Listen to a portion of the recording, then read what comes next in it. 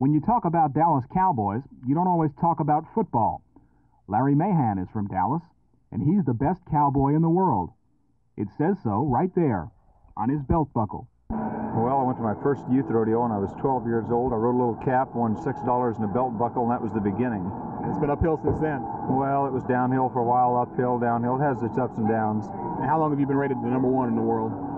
Well, I won the all-around uh, championship uh, from 1966 through 70, and then again last year in 73. So to win the all-around is that's where our point system is each dollar you win is a point, and uh, most money won in two or more events in one year's time uh, is the guy that ends up as the all-around champ.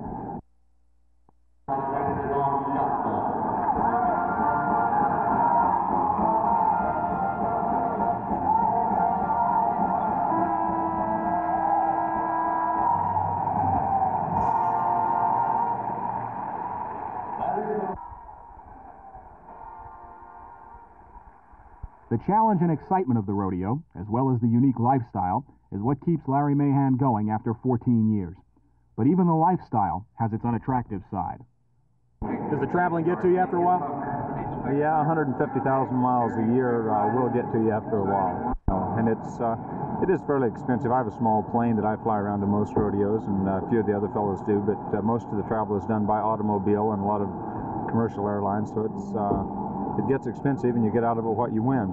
Oh, different sports take uh, different capabilities and uh, abilities. It's in rodeo, it's a combination of timing, coordination, balance, and of course, physical conditioning is important, and the mental attitude is very important.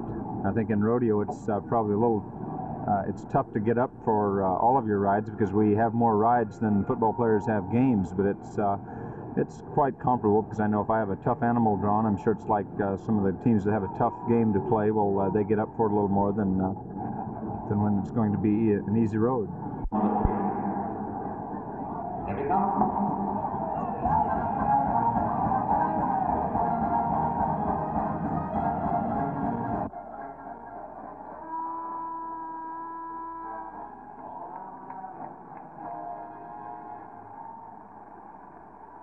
Rodeo is a unique sport.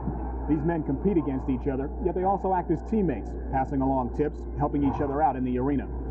After meeting Larry Mahan, you can see why he's earned the total respect of his fellow Cowboys, outside the arena as well as in. This is Mark Oristano, Channel 8 Sports.